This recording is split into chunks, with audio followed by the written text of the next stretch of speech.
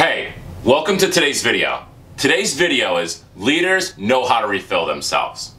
Because the world can drain us quite often or consistently drain us. So imagine a big glass of water and there's little holes throughout the glass. And as you can tell, obviously water wants to take the easiest path or least path of resistance, it goes, it eventually drains out. And often our life can feel like that. Or leaders or parents or you know, or any a leader of any organization, we can feel like that. Because, you know, for example, the, someone can cut us off in traffic, or uh, someone says something apathetic towards us, or makes a negative comment, or someone's late, or something didn't go the way it wanted to, and uh, or maybe we got a ticket on the way home. My point of saying is that we can get drained or defeated quite often, and if we're not consistently filling ourselves in a healthy way, uh, it's it's not you know eventually we're going to be empty and we're going to burn out. And obviously we have enough people in the world being burned out. We want to be a light for others. So i want to challenge you in this video to constantly refill yourselves.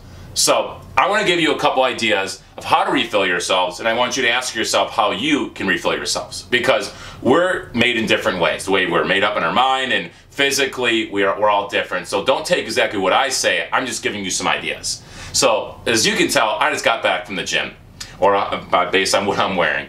So again, after five, six hours of doing emails and doing prep work for speaking in this next up and coming season of my life, um, I was kind of, you know, drained mentally. So I wanted to get more energy. So I decided to go to the gym despite being tired or wanting to take a nap. Um, like, I'm going to go to the gym and, and create some energy.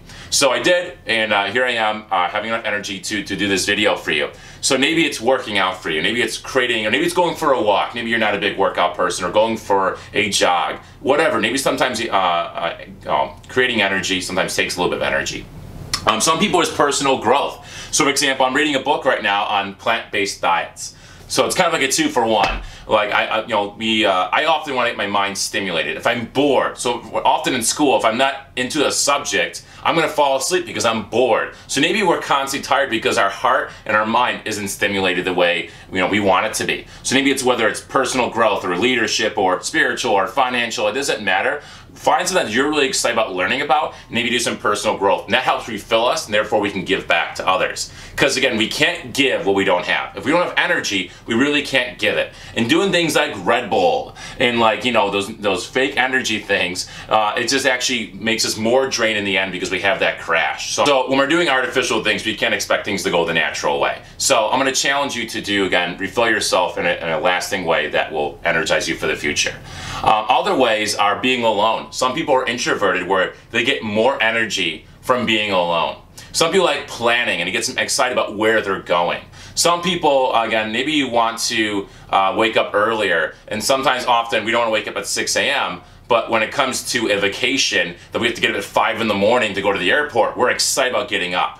So if you're like one of those people, hey, there's nothing wrong with you. It just means knowing yourself that you're like, hey, I get excited about new and exciting things. So maybe you get refilled or energized or refocused by something new and exciting that you want to build or create or just be a part of. So maybe that's refilling for you. So I hope those gave you enough ideas to kind of start from you know where you want to go. So again, let me ask you so you can take your next step.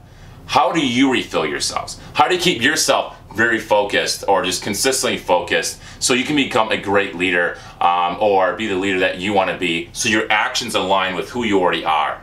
So I want to challenge you to do so. Because often we don't try to refill ourselves. We try to medicate ourselves or make ourselves comfortable. And what we think we're doing is refilling ourselves but we're really not. For example, Netflix binging or show binging um, or going out very late at night partying with our friends. Now, I'm not here to condemn or judge. I'm just saying, after watching TV for four hours, I don't have more energy. If anything, I want to take a nap and I don't have more energy or I'm not more focused on my goals. I'm actually the exact opposite. Or after going out really late at night with my friends, I wake up uh, you know, the hangover or I don't feel as good, I'm groggy the whole next day. So again, there's a big difference between being comfortable and doing what I feel like doing and actually refilling ourselves, re-energizing ourselves. Again, why are we doing this? Is because we want real joy, real passion, real direction in our life. So if you want to be a great leader or live a life uncommon, let me challenge you to refill yourself in a healthy, sustainable way so you don't feel drained